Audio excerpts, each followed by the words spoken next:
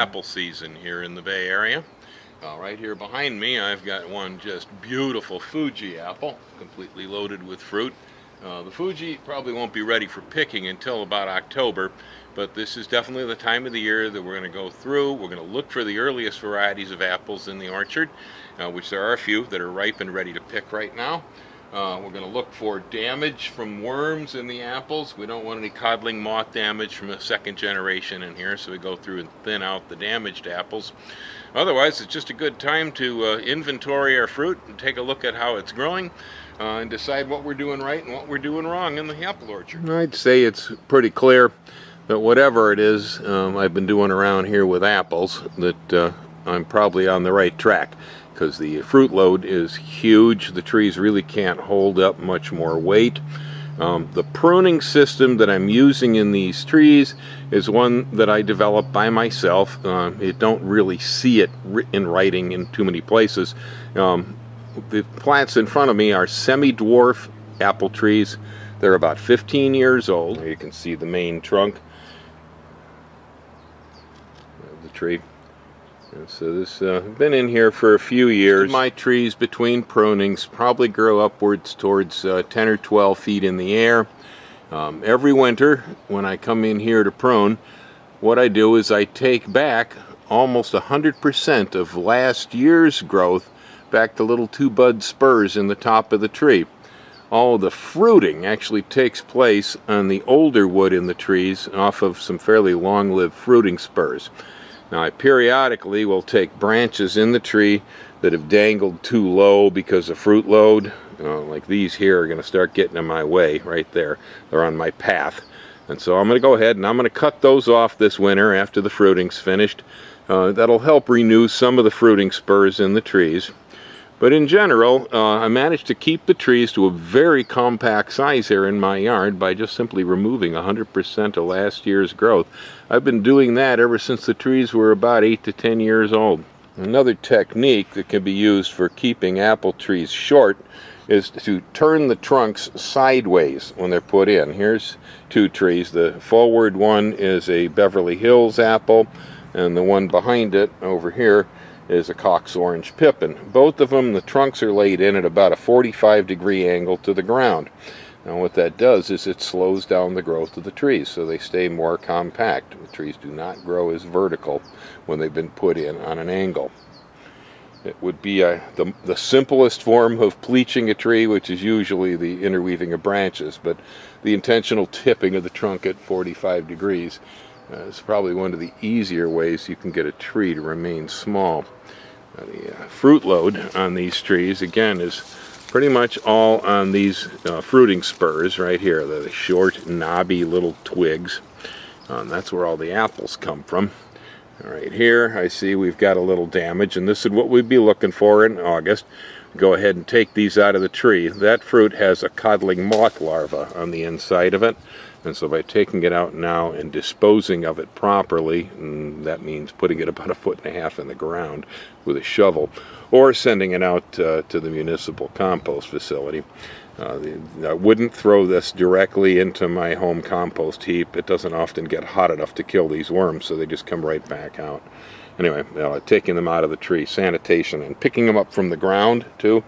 Uh, we've just got done out here picking up all the windfalls because most of the windfalls actually had worms in them. I just love growing apples. Uh, just they're amazing. Look at the the bounty here and all the different varieties you can raise. Um, this one here is mostly a Cox Orange Pippin, uh, which is a uh, old English apple. It raises really well here in the Bay Area. It, uh, it's very compact. It's got heavy fruiting spurs in the core of the tree. Uh, keeping this tree short with a fruit load to the, right close to the ground is an easy thing. But I also have other grafts in here. I refer to this tree as Frankensteina. Um, it has probably about 12 different varieties of apples stuck on the same trunk with the Cox Orange From this angle, uh, it's a little easier to see that the crop in the tree is all in the older wood, and then there's these shoots up above. That is what has grown this year on the tree. Last year I removed everything that was up there. Um, I did that the year before, the year before that, and so on. Uh, again, this Cox Orange is a semi-dwarf tree, and it takes rather rigorous pruning to keep it to size. But over here on this end of the garden, I have what's called a pole apple, or colonnade apple. Now these grow vertical like Italian cypress or Lombardy poplars.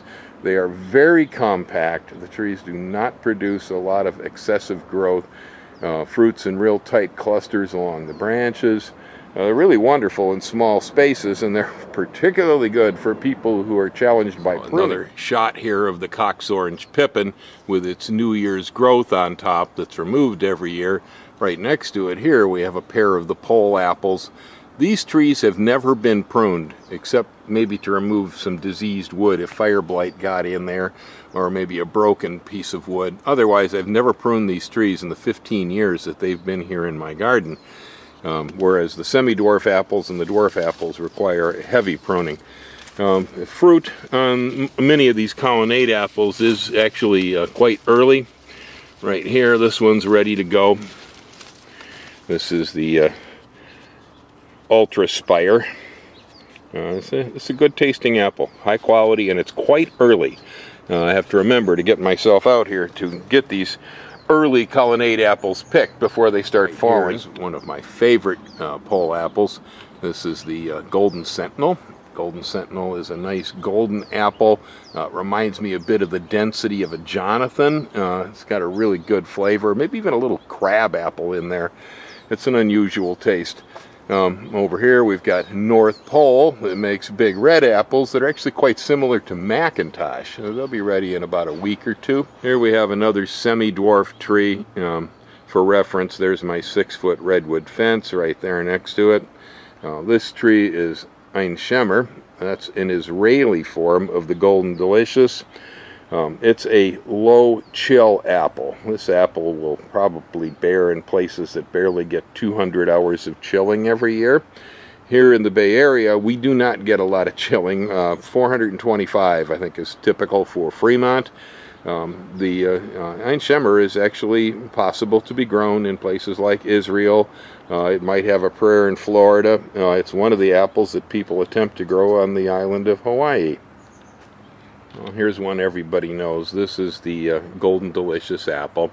Now this tree happens to be a dwarf. Um, I haven't put it in on a 45 degree angle. It's straight up and down. Uh, it's pretty easy to keep in size. I do have to prune this one every year, uh, but not real hard. Here's one of my favorite ugly duckling apples.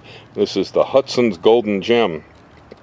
It was found growing wild around an orchard in Oregon back in the 1930s. Apple is excellent for all purpose cooking, baking, eating fresh out of the hand, uh, making cider, and so on. It's a, it's a very sweet apple.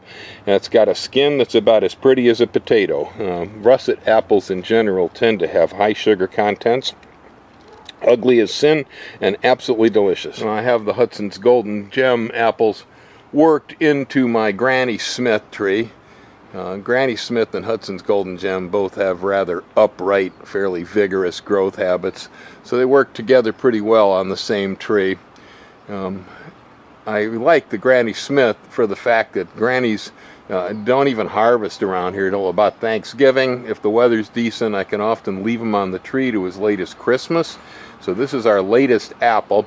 And when they're taken down in good condition, they will store usually until the month of May. Uh, just a marvelous fruit. Over here some more of the Hudson Golden Gems. And over here I've got a branch of an heirloom apple called Cinnamon and Spice. This is really a delicious apple, and the namesake uh, is no lie. It really does taste kind of spicy. That's a marvelous little fruit. Uh, over here we started originally with an Akane, uh, which is a Japanese apple, um, sister cross to Fuji, and then grafted on some Roxbury russets over here. Um, over here we have Dorsett Goldens. Uh, those are absolutely delicious. Right here is a branch of Elstar. Elstar is a little Belgian apple. Uh, it's a real delicious one, and it's quite early too. We're just about ready to pick these by the middle of August. This is a German apple uh, called Pinova. Um, it's that's like clumps of grapes. Real good apple. Uh, I believe it is a cross between the Cox Orange Pippin and one of the delicious like golden. I'm pretty sure that's what it was. I know it's got Cox Orange Pippin in its breeding. Anyway, uh, it's a real good apple. It can get scab. That's these polka dots here. Uh, we can get scab in this area on susceptible varieties. Uh, if I was selling these commercially, I would probably have to treat for it. But because I just eat them here or share them with friends, I really don't worry about it much um, because it doesn't completely destroy the fruiting. Mm, here's a cluster of golden russet apples. Again, some of those potato-looking fruits uh, that are so sweet and irresistible. So that was a quick walk around the apple orchard in August. Apples are one of my favorite fruits. There are so many varieties of apples out there. That was just a smattering of the ones in this yard. Um, there is an apple tree for every climate in the United States. You could grow apples in literally 50 states. Um, so there's no excuse that you don't have at least one or two apple trees in your landscape. They make wonderful shade trees, they don't get too large, and they bear, of course, delicious apples. We all know the story of Johnny Appleseed. This nation was built on apples. Thank you very much. Have a lovely time in your apple orchard.